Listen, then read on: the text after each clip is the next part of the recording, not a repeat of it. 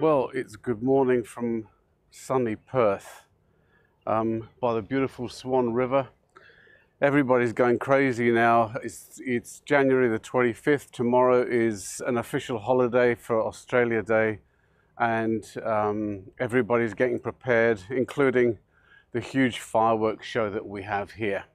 Anyway, so I thought I'd come down today and swing some clubs here, and I think you can possibly see them. There's a couple of black swans down here, um, which are unique to um, West Australia. And in fact, the black swan is the, um, the symbol of West Australia on, on all the official um, flags and so on. So it's a, you know, it's a pretty important um, find. The, um, the original settlers, just as a matter of interest, came in maybe about two or three kilometers down, from, down the river from here. So yeah, there we go. All right, so I just thought I'd just do an impromptu session, um, improvise a bit, and here we go.